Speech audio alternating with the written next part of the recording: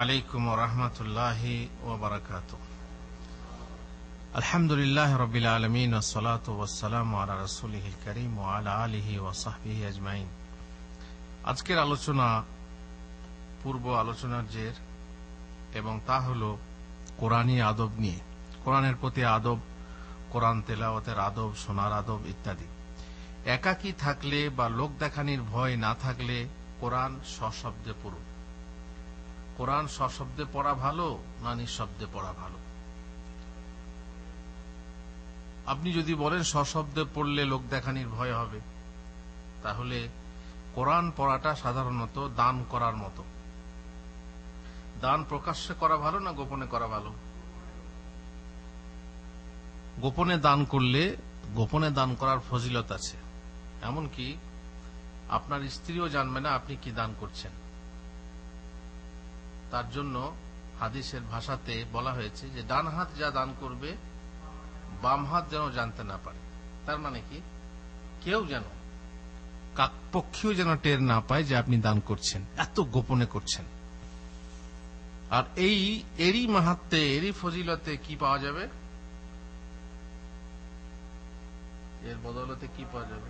কেয়ামতের মাঠে আল্লাহর আরসের নিচে ছায়া পাবেন, যেদিনে সেই ছায়া ছাড়া আর কোনো ছায়া নেই।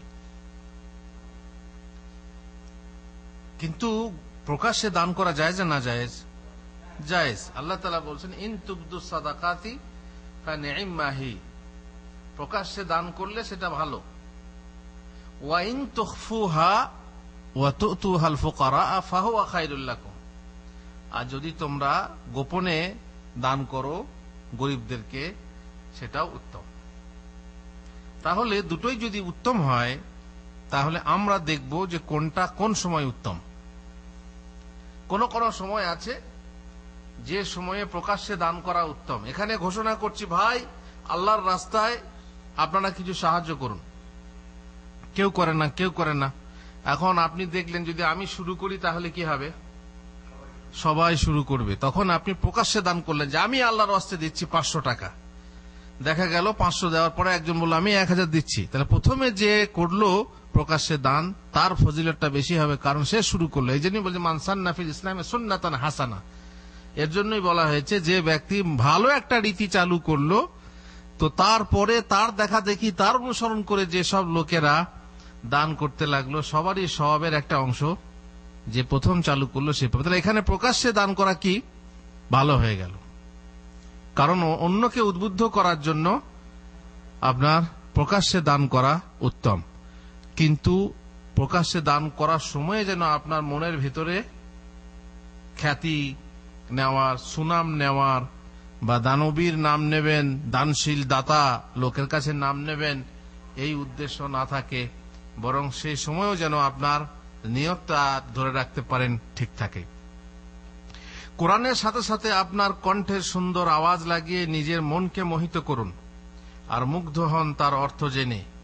আবেগ এসে এসে আপ্লুত করুন আপনার হৃদয় মনকে।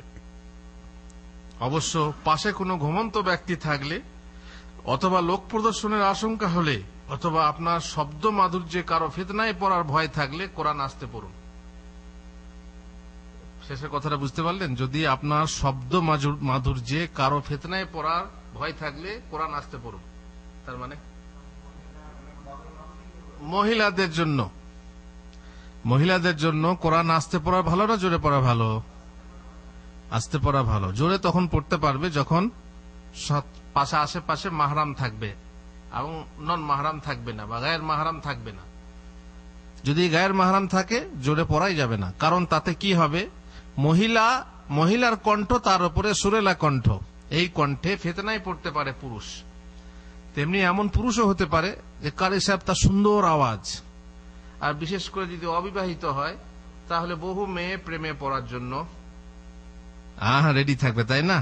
কারণ বিশেষ করে অবিবাহিতরা মানে এই সময়ে কি হয়, তাদের চাহিদা থাকে এবং মেয়েদের মনে তখন আকর্ষণ থাকে কোরআনের কোরআনের আকর্ষণ সাথে থাকার সাথে সাথে কারির প্রতি আকর্ষণ সৃষ্টি হয়। সুতরাং এই আকর্ষণ নিয়ে যায় একটা মন্দের দিকে। এই জন্য সেই সময় আপনার উচিত আস্তে আস্তে পড়া। আল জাহিরু বিল কোরআনিক আল জাহিরি বি সাদাকাহ ওয়াল মুসির বিল কোরআনি কাল মুসির বিল সাদাকা আমাদের আহ, মাজমাতে এক ভাই আছেন যিনি বলছেন আমি আমার বউ পছন্দ করেছি তার কোরআনের আওয়াজ শুনে। সে কোরআন পড়তো দুতলায় বসে বসে আর আমরা রাস্তা দিয়ে পার হতাম নামাজ পড়তে যেতাম কোরআন শুনতাম। এখন জানি না সেই মহিলার উদ্দেশ্য শোনানো কি না আল্লাহ জানে। কিন্তু এ বলছে, তার আওয়াজ শুনে আমি আকৃষ্ট হয়ে তাকে আমি বিয়ে করি। তাহলে এটা স্বাভাবিক, আকর্ষণ জাগবে। তো মোট কথা হলো, এই ক্ষেত্রে কোরআন চুপ করে পড়তে হবে। মহিলাদের কণ্ঠ বাইরে, বাড়ির বাইরে যাওয়া উচিত না। বিশেষ করে জানলার ধারে বসে গুনগুনাবেন। অবশ্য যাদের যারা যারা পর্দা নেই, তারা তো অনেক কিছু করতে পারে। তারা তো বাইরে গিয়ে অনেক কিছু করতে পারে। কিন্তু একজন কোরআন পাঠকারিনী মহিলা যে আল্লাহর কালাম পাঠ করবে, সে অন্ততপক্ষে নিজের আওয়াজ অপরকে শোনাবে না, নিজের চেহারা অপরকে দেখাবে না। সুতরাং রাসুল্লাহাম বলছেন না জাহের বিল কোরআন কাল জাহের সাদাকা। যে প্রকাশ্যে কোরআন পড়ে, সশব্দে কোরআন পড়ে, সে প্রকাশ্যে দানকারীর মতো। আর যে নিশ্চুপে কোরআন পড়ে, সে চুপে চুপে বা গোপনে দানকারীর মতো। দুটোই কিন্তু উত্তম। কিন্তু আপনার কোনটা উত্তম, কোনটা মধ্যম সেটা আপনাকে নির্ধারণ করতে হবে যে কোন সময় জোরে পড়া ভালো আর কোন সময় আসতে পড়া ভালো দান করার মতোই। যেমন মসজিদে কোরআন তেলাওয়াত করলে এমন উচ্চ স্বরে করবেন না যাতে নামাজি অথবা অন্য তেলাওয়াতকারীদের ডিস্টার্ব হয়। মসজিদ হচ্ছে আম জায়গা, সেখানে কেউ সুন্নত পড়ছে, কেউ হয়তো কোরআন তেলাওয়াত করছে, কেউ তাসবি করছে, আর আপনি জোরে জোরে শুরু করে দিলেন। এখন সবারই কানে আপনার আওয়াজ যদি ধ্বনিত হয়, তো নিশ্চয়ই ডিস্টার্ব হবে। আর বিশেষ করে যদি সুন্দর সুর হয় তখন সুরা ভুল হয়ে যাবে। আপনি নামাজ পড়ছেন আর মন ওইদিকে, আপনার কেরাতের দিকে পড়ে আছে। তখন আপনার নামাজের ভুল হতে পারে। এই জন্য মসজিদে খেয়াল করবেন যাতে যে এমন ভাবে শব্দ করবেন যে শব্দ আপনি শুনছেন। এবং আশেপাশে সেরকম পাশে স্পষ্টভাবে শুনতে পাবে না, গুনগুন শব্দে আপনি কেরাত করবেন। যেহেতু হাদিসে নিষেধ আছে। মহানবী সাল্লাহ সাল্লাম বলেছেন, ইন্নাল মুসাল্লি ইউনাজি রাব্বা ইন্নামাল মুসাল্লি ইউনাজি রাব্বা যে মুসল্লি, যে নামাজি, সে রবের সঙ্গে মোনাজাত করে। দেখেন, নামাজের পরে মোনাজাত না। কখন মোনাজাত? হাদিসের ভাষায় মোনাজাত হলো নামাজের ভিতরে, নামাজের পরে নয়। ইন্নাল মুসাল্লি ইউনাজি রাব্বা। মুসল্লি রবের সঙ্গে মোনাজাত করে। ফাল ইয়ানজুর রাহাদুকুম বিমা ইউনাজি রাব্বা। সুতরাং তোমাদের প্রত্যেকে যেন খেয়াল করে যে সে কি নিয়ে আল্লাহর সঙ্গে মোনাজাত করছে। তোতা পাখির মতো বলি আল্লাহ আকবর সুহান আল্লাহ আর আলহামদুলিল্লাহ পড়ছেন। এরকম তো না যে আপনি রবের সঙ্গে মোনাজাত করছেন। মোনাজাতের মানে কি? মোনাজাত মানে কি? মোনাজাত মানে হচ্ছে কানে কানে কথা বলা। মানে যাতে অপরকে শুনতে না পায়। দুজনে কথা বলছেন? যেমন আহ, গোপন প্রেম লুকোচুরি। গোপন প্রেম লুকোচুরি। সেই সময় কীভাবে কথা বলা হয়? যারা জানে, তারা জানে যে গোপন প্রেমের সময় যাতে লোকে যা দেখতে না পায়। হ্যাঁ অবৈধ প্রেম, লোকে জানতে পারলে সমস্যা আছে, বদনাম হবে। এই জন্য চুপি চুপি ফিস ফিস ফিস ফিস করে কথা হয়।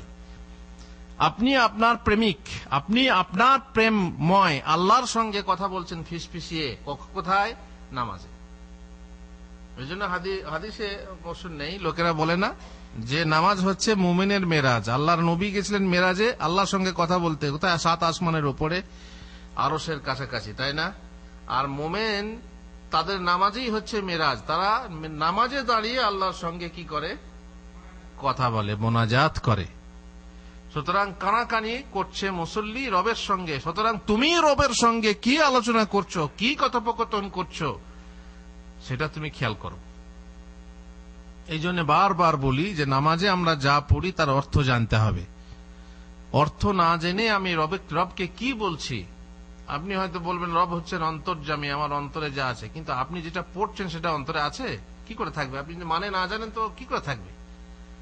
থাকতেই পারে না।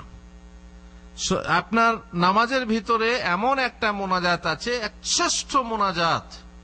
যে মোনাজাত দিয়ে তাআলা, আল্লাহ তাআলা তার গ্রন্থের ভূমিকা এবং উদ্ঘাটন করেছেন। আর যে মোনাজাতকে তিনি নামাজে ফরজ করেছেন, যে মোনাজাত না করলে নামাজ হবেই না। সেই মোনাজাতটা কি? সূরা ফাতিহা।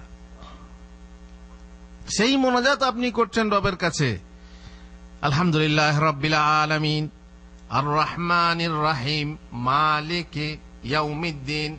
ইয়াকা নাবুদু ওয়া ইয়াকা নাস্তাইন اهدنا الصراط المستقيم صراط الذين أنعمت عليهم غير المغضوب عليهم ولا الضالين এই যে মোনাজাত আপনি করছেন যার পরে কি বলতে বলা হয়েছে আমিন আমিন মানে কি কবুল করো তাহলে নিশ্চয়ই এর আগে কিছু চাওয়া হয়েছে বলুন আপনি কি চাইলেন কি চিহ্ন আপনি আমিন বললেন?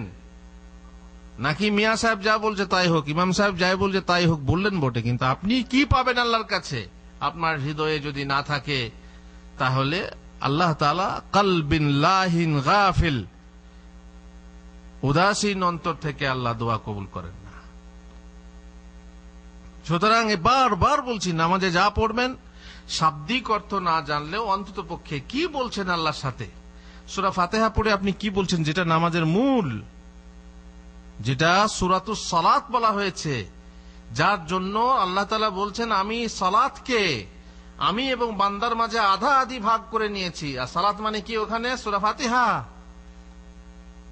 বান্দা যখন বলে, আলহামদুলিল্লাহ রাব্বিল আলামিন আল্লাহ তখন বলেন, বান্দা আমার প্রশংসা করল শেষ পর্যন্ত। বান্দা যা চাইবে, বান্দা আমি তোমাকে দেবো। কি চাইলেন আপনি? কি চাইলেন? আল্লাহ আমাকে সরল পথ দেখাও। মুস্তাকিম। মুস্তাকিম মানে সিধা, সোজা। আর তার মানে হচ্ছে ওখানে অনেক পথ আছে আঁকা বাঁকা ডাইনে বাঁয়ে অনেক পথ আছে। আর হাদিসে উদাহরণ দিয়ে বলা হয়েছে যে সোজা পথ হলো, সরল পথ হলো ইসলাম। আর আশেপাশে যে পথ হচ্ছে অন ইসলামিক যেগুলো ইসলামী না, বিদাতি পথ, মুশরিকদের পথ, বিধর্মীদের পথ।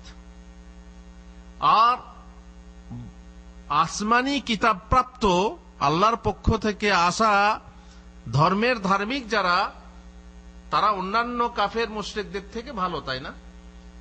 তাদের সঙ্গে তুলনা করে তাদের পথ থেকে দূরে থাকতে বলা হয়েছে।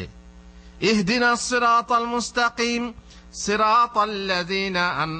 আলাইহিম, আল্লাহ তুমি যাদেরকে নিয়ামত দিয়েছ তাদের পথ। যাদেরকে তুমি পুরস্কৃত করেছ তাদের পথ। তার মানে নবী এবং সালেহিন, সিদ্দিকিন, সাহাবাদের পথ। গাইরিল মাকদুবে আলাইহিম, তাদের পথ নয় যাদের উপরে তুমি ক্রোধান্বিত, যারা ক্রোধ ভাজন যারা তোমার কাছে ক্রোধ ভাজন, তাদের পথ চাই না, তাদের পথ দেখাও না। ক্রোধ ভাজন কারা? ইহুদিরা। কেন? এরা জেনে শুনে, এরা জেনে শুনে মানে না। জেনে শুনে মানে না। আর ওয়ালাদ্দালিন আর যারা পথভ্রষ্ট, তাদেরও পথ দেখাও না। পথভ্রষ্ট কারা? খ্রিস্টানরা। এরা না জেনে আল্লাহকে মানতে চায়। এবং আল্লাহ সন্তান, অমক বিভিন্ন। তো এই দুই জাতির পথ আমাদেরকে দেখাবে না। হলে সুরা ফাতিহা যে মোনাজাত না করলে আপনার নামাজই বরবাদ। যদি এর অর্থ না জানেন, তাহলে আপনি রবের সঙ্গে কি মোনাজাত করলেন? মোনাজাত করে না, হুজুর, বৃষ্টি হয় না। হুজুররা দোয়া বন্ধ করে দিল, তো আল্লাহ বৃষ্টি বন্ধ করে দিল। আরে, হুজুররা দোয়া কথা বন্ধ করল? আমি এক মসজিদে নামাজ পড়ে বসে আছি, মসজিদে চাতাল হয় দেশে। সেই চাতালে ঠেস দিয়ে বসে আছি সিমেন্টের চেয়ারে। হঠাৎ করে এক হাজি সাহেব এসে বলছেন, হুজুর, আকাশে বৃষ্টি নেই, আপনারা দোয়া বন্ধ করে দিলেন, এসার নামাজ পড়েছি, দোয়া করি নেই দোয়া বন্ধ করে দিলে আমি কেন? দোয়া বন্ধ করলাম কখন? বুঝে ওই যে মোনাজাত করলেন না। আমরা মোনাজাত তো আমি করলাম, এতক্ষণ যত কিছু করলাম, মোনাজাত করলাম। বলছে, না, কই? আমরা তো আমিন আমিন বলি তা আপনি মোনাজাত করেননি? আপনি মোনাজাত করেননি? তো বলছে না। আমি বলা যে না, এশার নামাজ পড়লেন চার রাকাত, এই চার রাকাতের ভিতরে আপনি মোনাজাত করেননি বলছে না, জানে না ব্যাপারটি, বেচারি জানে না সত্যি জানে না। আমি বললাম যে চার রাকাত নামাজের ভিতরে আপনি আট জায়গাতে মোনাজাত করেছেন। আপনি কি চান বলুন মোনাজাতে? বৃষ্টি চান? বৃষ্টি চান, বৃষ্টি তো আসল চাওয়া নয়। আসল চাওয়াটা কি? না, বৃষ্টি যারা চায়, বৃষ্টি চাওয়াটা আসল চাওয়া না। বৃষ্টি না হয়েও যদি সেটা পাওয়া যায়, সেটাই উদ্দেশ্য। সেটা কি? ধান, ফসল। আসলে আপনি বৃষ্টি চান না, আপনি ধান, ফসল ভালো চান। যদি বৃষ্টি না হয়ে ধান, ফসল হতো, তাহলে বৃষ্টি চাইতেন? তো বৃষ্টি চাইছেন মানে কি আল্লাহ? তুমি আমাদেরকে, আমরা চাষ নির্ভর মানুষ, আল্লাহ তুমি আমাদের মাঝে বৃষ্টি দাও। বৃষ্টি হলে কি হবে? আমার ধান হবে। তবে আমরা খেতে পাবো, না হয় মরবো না খেয়ে। এখন দেশে হাহাকার চলছে, যেখানে সেখানে পড়া হচ্ছে। কেন ধান শুকিয়ে যাচ্ছে? বলছে, দোয়া বন্ধ করে দিলেন। আরে, তা আপনি দোয়া করেননি? জামাতি সবাই, ইমাম সাহেব থেকে নিয়ে, মুক্তাদি থেকে নিয়ে, সবাই দোয়া করেছে, আল্লাহর কাছে রুজি চেয়েছে। সরাসরি বৃষ্টি চাই, না চাইলেও যদি আপনি মনে মনে রাখেন, আল্লাহ আমাদেরকে রুজি দাও। যথেষ্ট না? বৃষ্টি না হলে তো রুজি পাওয়া যায়। তো বলছে, রুজি কোথায় চাই? তা জানেন না আপনি। এইটাও মুশকিল। না জেনে আমরা কথা বলি। বলুন, দুই সেজদার মাঝখানে আপনি কি দোয়া পড়েন? দুই সেজদার মাঝখানে আপনি কি দোয়া পড়েন? এখানে আল্লাহর কাছে রুজি চাওয়া হয়। হে রুজি সন্ধানীরা, যারা কাজের মাধ্যমে, যারা নিজের কাজের গর্ব করো যে কাজের মাধ্যমে আমি টাকা কামাই, রুজি কামাই। চাবি আছে, রুজির চাবি কাটে আছে আল্লাহর হাতে। আল্লাহর অনুমতি হবে, তবে তোমার উপার্জন হবে। আল্লাহর অনুমতি হবে, তবে তোমার ফল ফসল হবে। আল্লাহর কাছে রুজি চাও, ফাবতাগু ইনদাল্লাহি আর রিজক আল্লাহুম্মা হদিনী, আল্লাহুম্মা গফিরলি ওয়ারহামনি, ওয়াহদিনী ওয়া আফিনি ওয়ারজুকনি আপনি আল্লাহর কাছে রুজি চাইছেন, আর রুজি চাওয়া মানেই বৃষ্টি চাওয়া। আপনি কেন পড়েন না? সালাম ফেরার আগে কি মনোজাত করেছেন আপনি? বলছেন, না, আমাদের মনোজাত তো সালাম ফেরার পরে করে, আমরা এইটাই তো মুশকিল। মনোজাত মানেই বুঝেন না পারা মোনাজাত হচ্ছে সালাম ফেরার আগে। নামাজের ভিতরে হচ্ছে মোনাজাত। ইন্নাল মুসাল্লি ইউনাজি রাব্বা। এটা কার কথা? রাসুলের কথা। আর আমরা আমাদের কথা বানিয়ে নিয়েছি, মোনাজাত হবে সালাম ফেরার পরে, নামাজের পরে। কারণ হাদিসে আছে, প্রত্যেক ফরজ নামাজের পরে দোয়া কবুল হয়। আমি বললাম, প্রত্যেক ফরজ নামাজের পরে দোয়া কবুল হয়, এটা আপনাদের অর্থ করা। তার কারণ দুপুর শব্দ মানে শেষাংশ হয়, পরেও হয়। আমি মানছি যে পরেও হয়, কিন্তু মোনাজাত যখন আপনি বলবেন, তখন তার হবে নামাজের শেষাংশে, নামাজের পরে না। কেন? রসুল্লাহাম বলেছেন, যখন তোমরা তাসাহুদ পড়বে, আমার উপরে দরুদ পরে নেবে, তখন তোমরা জরুরি জিনিস চারটে থেকে পানাহ চাও। জরুরি চারটা জিনিস চেয়ে নাও, কি কি? কি কি চারটা জিনিস থেকে পানা চাইতে হবে?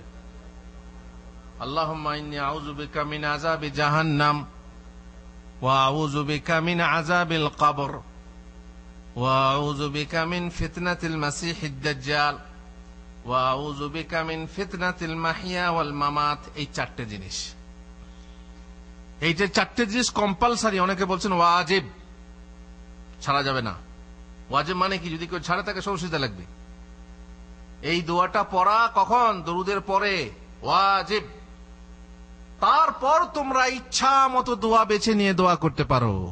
তখন রাব্বানা আতেনা, রাব্বানা জালাম না আপনি রুজি চান, রুজির জন্য দোয়া করেন, আপনি ইলেম চান, ইলেম জন্য ইলেমের জন্য দোয়া করেন। রাব্বি জিদনি ইলমা মা বাপের জন্য দোয়া করেন, রাব্বির হামহুমা কামা রাব্বানি সাগীরা। আপনি মুনাফিকি থেকে মুক্তি চান, সে তার জন্য দোয়া করেন। আপনি ধন সম্পত্তি চান আল্লাহ ফিনি বি হালালি কান হারামিকা, আপনি ঋণ থেকে মুক্তি চান। তার দোয়া আছে, দোয়া পড়েন। যেটা আপনি চাইবেন এবার ইচ্ছা মতো পড়েন, সালাম ফেরার আগে পর্যন্ত এটাই হচ্ছে মোনাজাতের আসল স্থান। এই জন্য নামাজের শেষাংশে দোয়া কবুল হয়, নামাজের পরে নয়। সুতরাং যারা যায়, জানে না, তারা মোনাজাত বলে নামাজের পরে। আমরা বলি, ইন্নাল মুসল্লি ইউনাজি রাব্বা। মুসল্লি, সে রবের সঙ্গে মোনাজাত করে। এই জন্য সমস্ত মোনাজাত কখন করতে হবে? যখন রবের সঙ্গে সংযোগ থাকবে, যখন মোনাজাতটা কানাকানি কথা হবে, তখন আপনি বলবেন আল্লাহর কাছে যে আল্লাহ আমার এই চাই, আল্লাহ আমার ওই চাই। এই হাদিসের শেষাংশে বলা হয়েছে, ওয়ালা ইয়াজহার আলা বিল আর তোমরা একে অন্যের কেরাতের উপরে কেরাত উচ্চস্বরে পড়ো না। তোমরা এক তোমরা কেউ অন্যের উপরে বা অন্যের বিপক্ষে বা অন্য অন্য পাশে বসে আছে, সে পড়ছে আর তুমিও পড়ছো তুমি এমন শব্দ উঁচু করো না যাতে তার ডিস্টার্ব হয়। আর সে যেন এমন শব্দ উঁচু না করে যাতে তোমার ডিস্টার্ব হয়। তাহলে কোরআন পড়তে হবে, যদি মসজিদে থাকেন কিংবা কোনো জামাতে থাকেন, যাতে করে আপনার কেরাত দ্বারা অন্যের ক্ষতি না হয় ডিস্টার্ব না হয়। কোরআন আস্তে পড়া বলতে মনে মনে পড়া নয়। এক হচ্ছে সশব্দে পড়া, নিঃশব্দে পড়া। নিঃশব্দে পড়া মানে কি? এটা আলাদা। আর একটা হচ্ছে মনে মনে পড়া। মনে মনে পড়া মানে আপনার ঠোঁট হিলবে না। মনে মনে আপনি সুরা ফাতেহা পড়ছেন, মনে মনে অনেক কিছু পড়ছেন। আর আরেকটা হচ্ছে নিঃশব্দে পড়া। এই যে হচ্ছে নিঃশব্দে পড়া, কিন্তু আমার ঠোঁট নড়ছে। আর সশব্দে পড়া আপনি জানেন, সেটা শব্দ হবে। তো কোরআন আসতে পড়া বলতে মনে মনে পড়া নয়, বরং সবাব লাভের শর্ত হলো কোরআনের শব্দ মুখে উচ্চারণ করতে হবে। তার মানে আপনার ঠোঁট জীব নড়াতে হবে। অতএব নিম্ন ও গুনগুন স্বরে কোরআন তেলাওয়াত করুন, যাতে উভয় দিক বজায় রাখতে পারেন। যেহেতু কোরআন দেখে মনে মনে পড়লে তেলাওয়াতের সব লাভ হবে না। মনে মনে পড়লে তো তেলাওয়াত হলো না। তেলাওয়াত মানে কি? তেলাওয়াত মানে হচ্ছে পঠন, পাঠ করা। আর পাঠ যদি মনে মনে হয়, তাহলে তাকে পাঠ করা বলা হবে না। তেলাওয়াতের সব নিতে হলে আপনার শব্দ হতে হবে। মহিলা হলে নিজের স্বামী বা মাহারাম আত্মীয় সামনে বা তাকে শুনিয়ে সশব্দে মিষ্টি সুরে কোরআন তেলাওয়াত করতে পারে। কথা আগে ইঙ্গিত করলাম।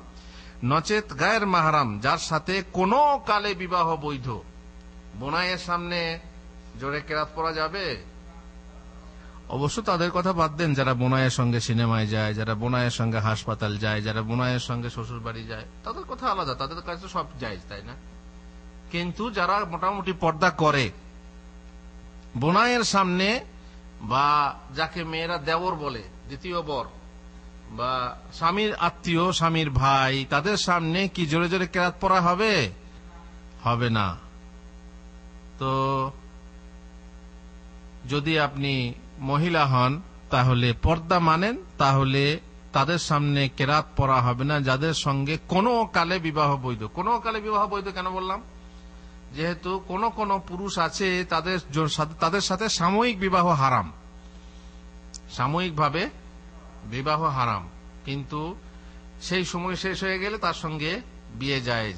তো সেও হচ্ছে গায়ের মাহারাম। তার সঙ্গে পর্দা আছে আর তার তার সামনে কেরাত জোরে পড়া যাবে না। হ্যাঁ মহিলার কণ্ঠস্বর ফেতনার জিনিস, এটা অবশ্যই জানেন যে পুরুষের তুলনায় মহিলার যদি দুজনেই সুর করে পড়ে, কার সুর বেশি ভালো লাগবে? অবশ্যই মহিলার সুর বেশি ভালো লাগবে। আর ফেতনার ছিদ্রপথ বন্ধ করা অবশ্যই জরুরি যাতে এই মহিলার কণ্ঠস্বর শুনে, যেমন বললাম, এক ভাই মহিলার কোরআন পড়ে, তার সাথে বিবাহে আসক্ত আসক্ত হয়ে পড়েছিল। যাই হোক, কোরআন পড়তে পড়তে তন্দ্রা বা ঢুল এলে পড়া বন্ধ করুন। তন্দ্রা, ঢুল কাকে বলে? যেমন বাদশার নামদার এখন এই যে। এটাকে কি বলা হয়? ঢুল বা তন্দ্রা। অন্য কিছু নাম আছে নাকি অন্য কিছু নাম আছে তন্দ্রা বলে বা ঢুল বলে। যদি এইরকম অবস্থা হয় তাহলে কোরআন পড়া বন্ধ করুন। কারণ সেই সময় আপনি পড়বেন আপনি এরকম যদি অবস্থা হয় ঘুম আসছে, আপনি ঘুমে চোখ আপনার খুলতে চায় না, অথচ আপনি জোর করে পড়ছেন। খবরদার এই অবস্থায় পড়বেন না। যেহেতু সাধারণত সে সময় আপনি কি পড়তে, কি পড়ে বসে থাকবেন, দাদা বলতে গাধা বলে দেবেন। হয়তো নিজেই বুঝতে পারবেন না। এই জন্য রাসুল্লাহাম বলছেন ইজা না আসা আহাদুকুম ওয়াহুয়া ইউসাল্লি ফালিয়ার কোদ অনেকে তাহাজুদের নামাজ পড়তে উঠে। অবশ্য ফরজ নামাজ হলে তো কোনো ব্যাপারই নেই, পড়তেই হবে। কিন্তু তাহাজুদের নামাজ পড়তে উঠল বেচারি ঘুম ছাড়ে না, মেহনতি মানুষ, মেহনত করেছে তাহাজুদ পড়ার ইচ্ছা আছে, শখ আছে যে তাহাজুদের বিশাল স্বভাব। আল্লাহ এই সময় নিচের আসমানে আসেন, তো সেই সময়ে আমি আল্লাহর কাছে কিছু চেয়ে নেব। এই জন্য নামাজ পড়তে দাঁড়াল বেচারি উজু করে, কিন্তু ঘুম তার পেছাচ্ছে শয়তান লেগে আছে। যদি এরকম হয় যে তন্দ্রা আসে, ঢুল আসে, তাহলে খবরদার সে যেন শুয়ে পড়ে, নামাজ না পড়ে। আল্লাহ রসুল নিষেধ করছেন যে সে যেন নামাজ না পড়ে, শুয়ে পড়ে। হাত্তা ইয়েজাহাবা আনহুন নৌম যতক্ষণ পর্যন্ত না তার ঘুম দূর হয়ে গেছে দূর হয়ে গেছে। যেমন ড্রাইভার ড্রাইভার রাতারাতি গাড়ি চালাচ্ছে, তাই না? কি বলা হয়? যে তোমার ঘুম এলে গাড়ি দাঁড় করিয়ে দিয়ে সাইডে তুমি ঘুমিয়ে যাও। ঘুম একটু শরীরটা হালকা হয়ে গেলে তারপর আবার গাড়ি চালাও। কেন? যাতে অ্যাক্সিডেন্ট না হয়। ঠিক এইরকমই নামাজ পড়ছো, নামাজ পড়তে পড়তে যদি ঘুম এসে যায়, এমন ঘুম আসে যে আপনি পাচ্ছেন না, ঘুমের ওপরে বিজয়ী হতে পারছেন না সেই ক্ষেত্রে আপনি নামাজ বন্ধ করে দেন। বরং আপনার জল খেতে গিয়ে ঘটি না হারিয়ে যায়, আপনার বাত ভালো করতে গিয়ে ব্যথা সৃষ্টি না হয়, আপনি নামাজ পড়তে গেলেন আর সেখানে আপনি গালাগালি করছেন। ফাইন না আহাদা কুমিজা সাল্লাহ না আল্লাহু কেননা, এমনও হতে পারে যে ঢুলতে ঢুলতে নামাজ পড়লে সে হয়তো বুঝতে পারবে না, সম্ভবত সে ক্ষমা চাইতে গিয়ে নিজেকে নিজেকে গালি দিয়ে বসবে, নিজেকে লানত করে বসবে, অভিশাপ করে বসবে। এটা হয় না হয় না। ঘুম, আর এই জন্যই ঘুম, এই যে ঘুম হচ্ছে মানে এক প্রকার জ্ঞান শূন্যতা এই জন্যই বলা হয়েছে কোরআনে যে তোমরা যখন প্রথম প্রথম মদ একেবারে হারাম হয়নি, তখন বলা হয়েছিল কি? যে, লা ও আন্তুম সুকারা। নেশা অবস্থায় তোমরা নামাজে এসো না। কারণ নেশা অবস্থায় নামাজে এলে নামাজে ঠিক থাকবে না, নেশায় চুর থাকবে, রাকাত সংখ্যা ঠিক থাকবে না। ওই যে বলেছিলাম না, একজন নামাজ পড়লেন ফজরের নামাজ। নামাজের পরে তিন রাখাত নামাজ পড়ে সালাম ফিরে বলছে, আর বেশি পড়ব? তার মানে তখন মদ হারাম হয়নি পরিষ্কার। তারপরে পরে মদকে একবার সম্পূর্ণরূপে হারাম করে দেওয়া হলো। তো মদ, লা তাকরাবু সালাতাম সুকারা, নেশা অবস্থায় নামাজের কাছে যেও না। তার মানেই হলো যদি ঘুমের অবস্থা হয়, এটাও এক প্রকার নেশা। সেক্ষেত্রেও নামাজের কাছে যেও না। তবে বললাম যে ফরজ নামাজ হলে পরে সময় পার হওয়ার ভয় থাকলে যেমন করেই হোক, পড়তেই হবে। সেটা আলাদা কথা।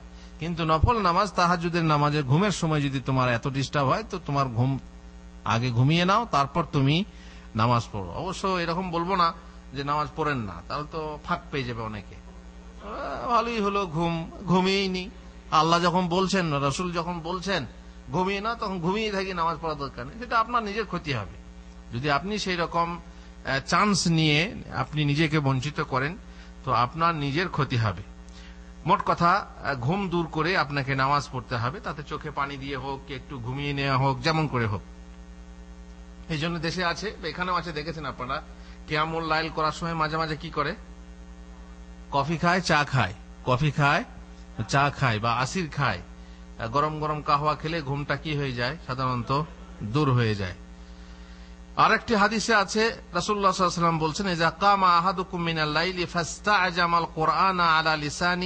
ফালাম ফাল তার মানে তোমাদের মধ্যে কেউ রাতে উঠে তার জিভে কোরআন পড়া জড়- জড়িয়ে গেলে, জড়তা আসে। মানে এইখানে হয়, অনেকেরই হয়। তো জড়িয়ে গেলে সে কি বলছে তা বুঝতে না পারলে সে যেন শুয়ে পড়ে। তার নামাজের দরকার নেই। অতএব অতএব কোরআন তেলাওয়াত করতে করতে যখনই ঘন ঘন হাই আসতে শুরু করবে, খুব হাই আসছে, হাই তুলছে না, তখনই, তখন বলে, হাই এলো, নিতে, চলো ভাই, শুতে। তখনই কোরআন পড়া বন্ধ করে দিন, নচে তন্দ্রা তারাবার ব্যবস্থা করুন। ব্যবস্থা করে যদি আপনি কাহওয়া টাহওয়া খেয়ে যদি তারাবার ব্যবস্থা করতে পারেন, তাহলে ভালো কথা। কোরআন পড়তে পড়তে তসবির কথা এলে তসবি পড়ুন এবং আজাবের কথা এলে আজাব থেকে পানা ও রহমতের কথা এলে রহমত চেয়ে প্রার্থনা করা সুন্নত। আপনি কি করে বুঝবেন যেটা তসবির আয়াত নাকি আজাবের আয়াত না রহমতের আয়াত? কখন বুঝবেন? যখন আপনি তার অর্থ বুঝবেন তখন। তাছাড়া আপনি আন্দাজে চাইতে যাবেন না না হয়তো কোন সময় কি চেয়ে বসবেন। আর ধান ভানতে শিবের গীত গাইবেন হুজুরদের মতো কবর জেরাতে দোয়া করছে, সেখানে গিয়ে কি পড়ছে? সেখানে হয়তো বিয়ের দোয়া পড়ছে। সেখানে আর বিয়ের জায়গাতে মরার দোয়া পড়ছে। কেন? মানেই জানে না। কখন কি পড়তে? মোনাজাত করছে না করছে? মোনাজাতের দোয়া যত মুখস্থ আছে, হুজুর আর সাধারণ আম পাবলিক লম্বা মোনাজাত না করলে যান ভরে না। যদি বলা হয়, হুজুর, আমার জন্য দোয়া করেন। ভাই, কি হয়েছে? ভাই, আমি খুব অসুস্থ, আমার জন্য দোয়া করেন। হুজুর সাফাক আল্লাহ আফাক। পছন্দ হবে না। কিন্তু যদি ফরজ নামাজের পরে কোনো সময় লম্বা করে, আল্লাহ, তুমি আমার হেলাল ভাইকে ক্ষমা করে দাও, আল্লাহ, তার রোগ ভালো করে দাও, তার অসুস্থ ভালো করে দাও। এরকম যদি বা আরবিতে, বাংলাতে, উর্দুতে লম্বা চওড়া করে বলতে পারি, তখন হেলাল খুশ। তখন আমাকে এক হাজার টাকা দেওয়ার জায়গাতে পাঁচ হাজার দেবে। তাই না? এই জন্য লম্বা করতে হবে। মোনাজাত লম্বা না করলে যান ভরে না।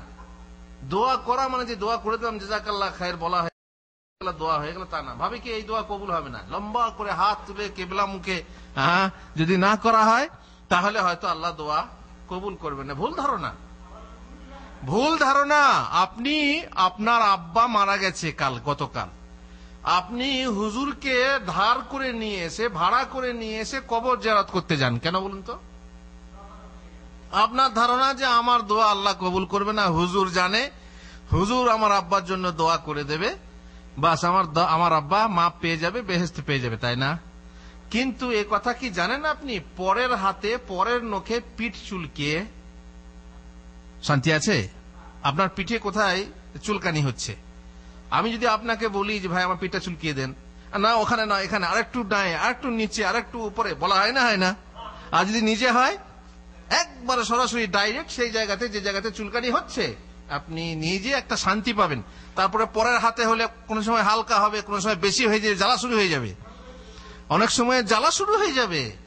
তো আপনি পরকে ধার করে নিয়ে এসে আপনার বাপের জন্য দোয়া করাবেন। ভাইজান, আপনি, আপনার বাপ চলে গেছে। আপনার মনে যে ব্যথা আছে, যে শোক আছে, সেটা কি হুজুরের মনে থাকবে? আর যদি আপনার বাপের সঙ্গে হুজুরের কোনো কিছু একটু থাকে, তাহলে দোয়ার জায়গায় কি করবে? হ্যাঁ যা জাহান নামে আপনি বুঝতেই পারবেন না। বুঝতে পারলেন? সুতরাং ধার করে নিয়ে এসে আপনি পরের নখে চুলকাবে, পিঠ চুলকাবেন, এটা ঠিক না, মোটেই না। আরে, আপনি নিজে দোয়া করুন। আপনি নিজে দোয়া করুন। কথা বলছিলাম কি? যে কোরআন যদি বুঝতে পারেন, তাহলে আপনি তসবির জায়গায় তসবি রহমতের জায়গায় রহমত চাইবেন আজাবের জায়গায় আজাব থেকে পানাহ চাইবেন। আল্লাহ রসুল সাল্লাহাম এটাই করতেন। যেমন দু একটা নমুনা আমাদের, আপনাদের আছে। যখন বলা হয় সাব্বে হিসমা রব্বিকাল আলা আল্লাহ রসুল কি বলতেন সুবহান রব্বি আলা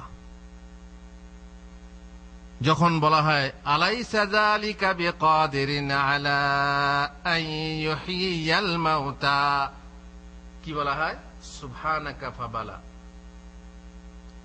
فبأي آلاء ربكما تكذبان যখন বলা হয় তখন কি বলতে হয় লা বেশাই মিন নিআমিকা রাব্বানা নুকাজ্জিবু ফালাকাল হামদ। ঠিক কি না এই শ্রেণির, আর যেখানে আপনার আজাবের কথা আসবে, সেখানে আল্লাহ মাইনি আউজুবিকা মিন আজাবে জাহান্নাম নাউজুবিকা মিনাল আজাব এই ধরনের আপনি পড়তে পারেন। জান্নাতের কথা হলে আল্লাহ মাইনি আসালুকাল জান্নাত। জাহান্নামের কথা হলে আল্লাহ মাইনি আউজুবিকা মিনান নার। কিন্তু মানে না বুঝলে আপনি কি চাইতে, কি চেয়ে বুঝবেন? তাই না? সুতরাং মানে যাওয়া জরুরি। সিজদার আয়াত পাঠ করলে সিজদা করা সুন্নত। অবশ্য সিজদার জায়গাতে সাইডে লেখা থাকে সিজদা, আর মাঝখানে দাগ দেওয়া থাকে। এটাতে হয়তো সবারই বুঝতে সমস্যা হবে না যে এটা হচ্ছে সিজদার জায়গা, সিজদা করলেন। কিন্তু কেন করলেন আপনি বুঝলেন না। সিজদার জায়গায় সিজদা কেন করতে হয়? বলবেন আল্লাহ রসুল করেছেন করতে বলে। ঠিক আছে, কেন কিন্তু কেন? নিশ্চয়ই কারণ আছে। নিশ্চয়ই ওই আয়াতে সিজদা করার কোনো কথা আছে বলে সিজদা করতে হয়। আপনি বুঝবেন না আন্দাজি করবেন। ঠিক আছে, সিজদা করাটা সুন্নত না ওয়াজেব? অনেকে ওয়াজেব বলে, কিন্তু সঠিক মতে সুন্নত হচ্ছে সুন্নত। মানে সিজদা করাটা, তেলাওয়াতের সিজদা হচ্ছে সুন্নত। ভক্তির এই সিজদায় সুন্নতি দোয়া পড়ুন। সুন্নতি দোয়াটা কি? তেলাওয়াতের শেষদায় দোয়া কি? সাজাদা ওয়াজহিয়া লিল্লাজি খালাকাহু ওয়া শাক্কা সামআহু ওয়া বাসারাহু বিহাউলিহি ওয়া কুওয়াতিহি। তার মানে আমার মুখমণ্ডল তার জন্য সিজদাবনত হলো যিনি ওকে সৃষ্টি করেছেন এবং স্বীয় শক্তি ও ক্ষমতায় ও চক্ষু কর্ণকে উদ্গত করেছেন। এই বলে সিজদায় আপনার দোয়া পড়তে হয়। অন্য একটা দোয়া আছে, যেখানে দাউদ আলাহ ইসলাম সিজদা করেছিলেন এবং তার কথা কোরআনে এসেছে। সেই জায়গাতে এখানে বলা হয় আল্লাহ তিবলি বিহি ইন্দাকা আজরা ওয়াদা আন্নি বিহা হুইজরা ওয়াজআলহা লি ইনদাকা যুখরা ওয়াতাকাব্বালহা মিন্নি কামা তাকাব্বালতাহা মিন আবদিকা দাউদ। আমি সিজদা করছি তেলাওয়াতের সিজদা। অতএব হে আল্লাহ, এই সিজদার বিনিময়ে তোমার নিকট আমার জন্য পুণ্য লিপিবদ্ধ করো। পাপ মোচন করো, তোমার নিকটে আমার জন্য জমা রাখো এবং আমার নিকট হতে এটা গ্রহণ করো, যেমন তুমি তোমার বান্দা দাউদ দাউদ আলাহ ইসলামের কাছ থেকে গ্রহণ করেছি এ হলো সেজদার দোয়া। তেলাওয়াতের সেজদায় গিয়ে প্রথমে সেজদার দোয়া পাঠ করে, অতঃপর তেলাওয়াতের সেজদা দোয়া পাঠ করুন। অনেকে ডাইরেক্ট হতে এই দোয়াটা পড়তে পারে, যথেষ্ট, কিন্তু নিয়ম হলো যে প্রথমে সেজদার দোয়া, আম দোয়া যেটা কি? সুমান রাবিয়াল আলা। সুমান রাবিয়াল আলা পড়ে তারপরে আপনি তেলাওয়াতের সেজদা দোয়া করুন, ওলামারা বলেছেন। মনোযোগ সহকারে ধ্যান দিয়ে যে কারির কোরআন শুনে, তার জন্য তেলাওয়াতের সিজদা সুন্নত। মনে করুন আপনি একজন পড়ছে, আপনি শুনছেন। তো আপনার জন্য সেজদা করা সুন্নত। কারি সাহেব করল? আপনিও করেন। অবশ্য কেরাত চলা অবস্থায় ব্যস্ত থাকলে অথবা সেদিকে পার হতে গিয়ে কেরাতের শব্দ, তেলাওয়াতের আয়াত কানে পড়লে সিজদা করতে হবে না। বললাম যে সুন্নত। আপনি গাড়ি চালাতে চালাতে কোরআন শুনছেন। সিজদার আয়াত এলো। গাড়ি ছেড়ে দিয়ে আপনি সিজদা করবেন? না না, হতেই পারে না। স্টিয়ারিং ছেড়ে দিয়ে আপনি সিজদা করতে গেলে তো বুঝতেই পাচ্ছেন তো মোট কথা, সিজদা যেহেতু ওয়াজেব নয়, সুন্নত, তখন আপনার গোনা হচ্ছে না। তেলাওয়াতের সেজদার জন্য উজু শর্তে না। আপনি যদি কোরআন শুনছেন বা পড়ছেন মুখস্থ আপনার উজু নেই সেজদা করতে হবে। তার জন্য কি উজু শর্ত আছে? না।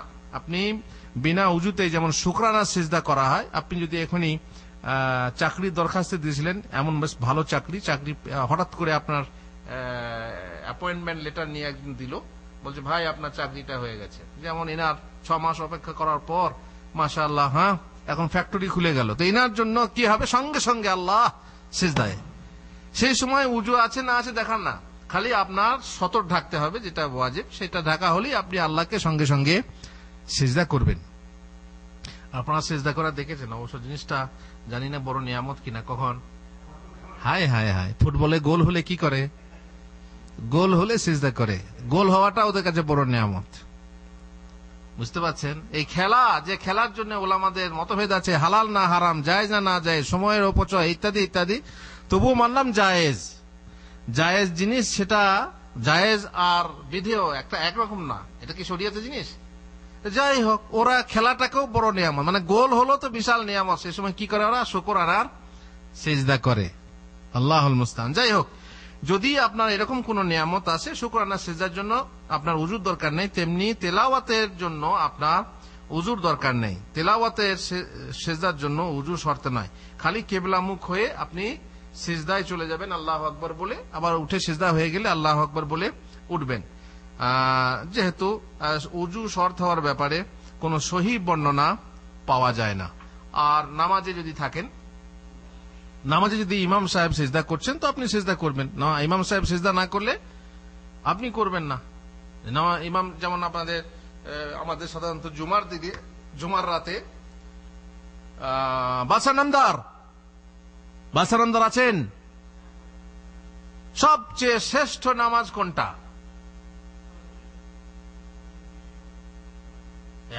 ফজরের শূন্য দুরাকাত ফরজ থেকেও উত্তম। তাই না? ঘুমটা ছাড়া নিয়ে বলেন। সব থেকে শ্রেষ্ঠ নামাজ কোনটা? নিশ্চয়ই ফরজ শূন্য থেকে ফরজে তার। ফরজের মধ্যে সব থেকে শ্রেষ্ঠ কোনটা? যদি বলেন ফজরের নামাজ। ফজরের মধ্যেও সব থেকে শ্রেষ্ঠ কোনটা? জুমার দিনে জুমার ফজর। জুমার ফজর জামাত সহকারে। এ নয় যে বাড়িতে একা পড়বেন সেটা না, জুমার দিনে জামাত সহকারে নামাজ সব থেকে শ্রেষ্ঠ নামাজ। এই নামাজ পড়তে হয় সুন্নতি কেরাত হলো প্রথম রাখাতে সুরা সাজদা। আর দ্বিতীয় রাখাতে সুরা ইনসান বা সুরা দাহার। তো প্রথম রাখাতে যেটা পড়তে হয়, সেখানে সাজদা আছে। ইমাম সাহেব সেজদা করলে আপনি সেজদা করবেন। ইমাম সাহেব সেজদা না করলে আপনি করবেন না। যে নিয়মে দেখেছেন আল্লাহ আকবর বলে সেজদা যায় একটা সেজদা একটা সেজদা। একটা সেজদা দিয়ে তারপর আল্লাহ আকবর বলে উঠে আবার কেরাত শুরু করে। আর ইমাম সাহেবদের উদ্দেশ্যে আমরা বলব, অনেক সময় দেখেছি আমরা মদিনা ইউনিভার্সিটিতে থাকার সময় একবার হয়েছে কি কয়েকটা সুরা আছে, যে সুরার শেষাংশে সেজদা আছে। তাই না? তো শেষাংশে সেজদা আছে, আপনি ইমাম সাহেব সুরাটা পড়লেন শেষাংশে দিয়ে আল্লাহ আকবর গেলে, আল্লাহ আকবর বলে সিজদায় গেলেন। আর সামনের লোকরা দেখল যে ইমাম সাহেব সিজদায় গেছে, সিজদা করল। কিন্তু ওই পেছনের লোকরা, তারা তো দেখছে না। তারা ভাবছে কি, ইমাম সাহেব রুকুতে গেল। দিয়ে হয়েছে কি, কিছু রুকুতে আর কিছু সেজদাতে। তারপর যখন স্বামী আল্লাহ হলিমান হামেদা না বলে যখন আল্লাহ আকবর বলছে, তখন পেছনের লোকরা ভাবছে হাই রে, এ তো সিজদা ছিল। এবার তারা কি করবে? বিশাল সমস্যা। এই জন্য ইমাম সাহেবদের যাদের মোটামুটি বুদ্ধি নেই, তারা এরকম করে। বুদ্ধিটা হলো কি, যে আপনি কমসে কম সিজদার আয়াত পড়বেন না, জরুরি নয় পড়া। আগেই ছেড়ে দেবেন। আর যদি আপনি সেজদার আয়াত পড়েন তো আপনি ওই সময়ে রুকু যাবেন না, ছেড়ে দিয়ে রুকু যাবেন নাকি সিজদায় যাবেন? তো যদি আপনি রুকুটা পড়েন আপনি, তো পরবর্তী সোরার কিছু আয়াত পড়ে তারপরে আপনি কি করবেন? রুকুতে যাবেন। মানে ওই সময়ে যদি আপনি শেষ সোরা পড়ার সময়ে যদি আপনি সেজদায়, কি বলে আপনার রুকুতে যান, যদি রুকুতে যান আবার সিজদা না করেন, তো অনেক লোক পেছনে কি মনে করবে? যে সিজদায় গেছে। এই জন্য এই আয়াতগুলো, যেগুলো সুরার শেষে সাধারণত খেয়াল করা উচিত যাতে করে এরকম না হয়। আপনি যদি একটা না পড়তে বিশেষ করে তারাবিন নামাজে, যেমন আমরা করি, যখন যখন দেখি যে সুরা শেষে, যেমন সুরা আরাফের শেষে সেজদা আছে, তাই না? তখন আমরা দু আয়াত আগে হ্যাঁ? না, বলে দেওয়ার প্রয়োজন কি আছে? আমি দু- দু রাকাত, দুই আয়াত আগে ছেড়ে দিই। ছেড়ে দিয়ে নামাজ রাকাত শেষ করে নিই, তারপরে যখন রাকাতে উঠি, তখন ওই দুই আয়াত ধরে আবার সেজদার আয়াত পড়ে তখন সেজদা দিই তখন লোকে মনে করবেন যে রুকু যাচ্ছে, কারণ এই দুই আয়াত পড়ে তো আর কেউ রুকুতে যাবে না। তখন মনে করবে লোকে যে হ্যাঁ সেজদাতে যাচ্ছে। তো যাই হোক, এরকম হিকমত অবলম্বন করে যদি পড়া হয়, তাহলে ইনশাআল্লাহ গোলমাল হবে না। তাহলে আজকে এই পর্যন্ত, ইনশাআল্লাহ বাকি আদব আবার পরে আলোচনা করব। আল্লাহ তালা আমাদেরকে তৌফিক দেন, যা আমরা জানছি, শিখছি, তা যেন আমল করতে পারি। আল্লাহ আমিন ওসল্লাহ নবীন মোহাম্মদ ওয়ালা আলহি ওসাহবিহি আজমাইন।